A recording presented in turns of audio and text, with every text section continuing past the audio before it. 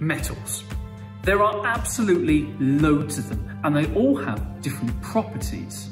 Metals make up most of the periodic table, and although they have some similarities, there are occasional differences. Iron, for example, it's very hard, it conducts heat, and it's quite heavy. Gold, very shiny, very valuable, doesn't tarnish very easily. It's also quite a soft metal. Aluminium, it's incredibly light and very easy to shape, making it outrageously useful. Now, each three of those metals are very different in their properties, but they do have a few things in common. Like, say, they won't explode if you put them in water. That'd be ridiculous, right?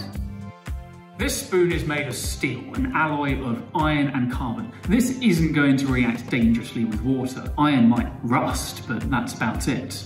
There are, however, other metals that will react incredibly violently with water. In here is sodium, a metal, but probably unlike any other metal you've come across before.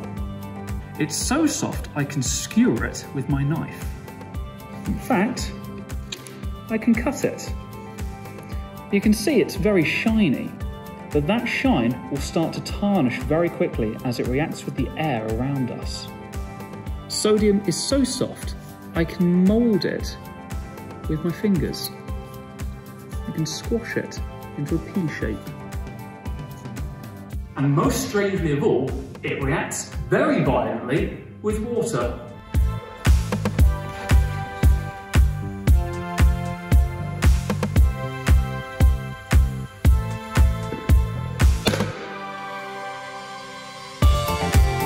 What we've got here in the bottom of my beaker is no longer water. This is a sodium hydroxide solution.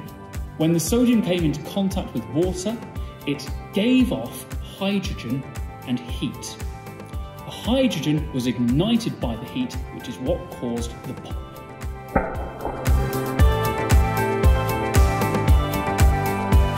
Why not go around your own home and look for different metals? See if you can identify what properties they have and why you would want to use that particular metal for that job.